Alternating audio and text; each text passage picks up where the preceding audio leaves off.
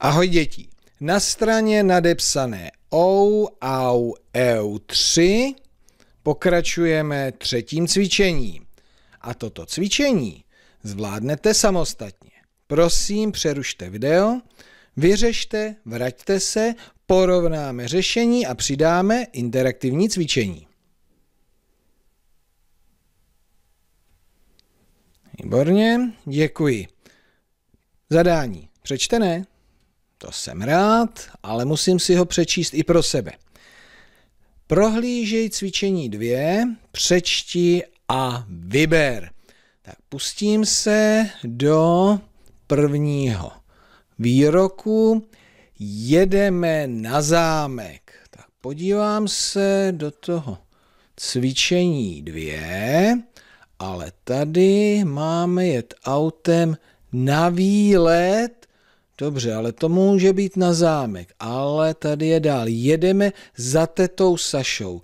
Leda, že by teta Saša bydlela na zámku, ale to se tam nepíše, takže jedeme na zámek, já vybírám ne. Další výrok, další věta. Papoušek jede také.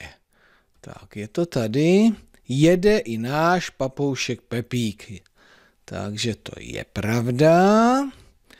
U tety je mourek, tak, hledám, u tety je mourek. To tady je, kouká nepepíka, že by se takhle kočka dívala na ptáčka. Dobře, no, kontrola. Kontrola, svítí mi to zeleně, výběr je správný a co vy? Výborně. No a teďka ještě to interaktivní cvičení. Poslouchejte. Je pátek. Barva anebo palec? Ano. Takže v článku je napsáno je zase pátek, tak je to pravda.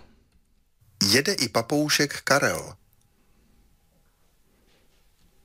To není pravda, že jede papoušek, to by pravda byla, ale on se jmenuje Pepík, žádný Karel. U tety je medvěd. Hm. Tak teda nevím, jestli je mourek medvěd, ale ne, ne, ne, medvěd, eh, mourek je kočka.